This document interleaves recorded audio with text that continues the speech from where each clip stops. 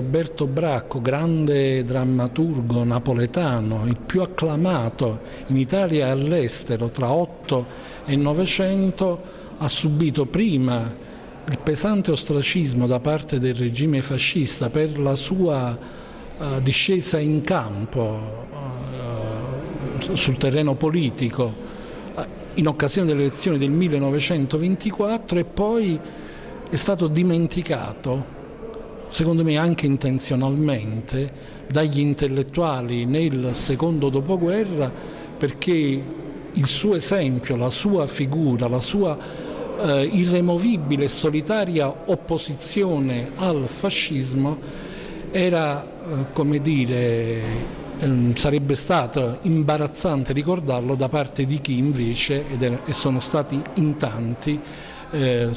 erano scesi a compromesso, avevano accettato favori, avevano ricevuto vantaggi e poi nel secondo dopoguerra si sono scoperti inopinatamente antifascisti. Un gruppo di intellettuali scandinavi eh, nel 1926 avanzò la candidatura di Roberto Bracco che non venne sostenuta dal regime fascista, dal governo fascista, con la motivazione secondo la quale Roberto Bracco era un anti-italiano. Quello stesso anno, come adesso è noto,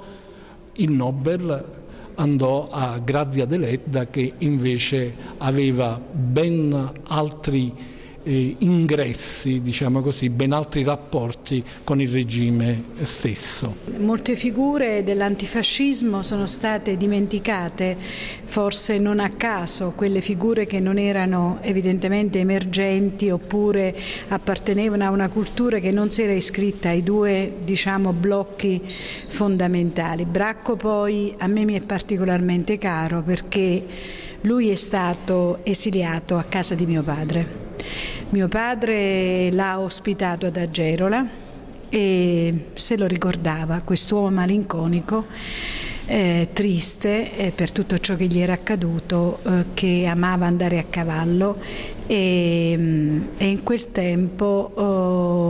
lui che scriveva e aveva una, un suo principio morale molto forte, eh, preparava anche una generazione successiva all'antifascismo con i suoi comportamenti. Mio padre molte lezioni le ha prese da lui.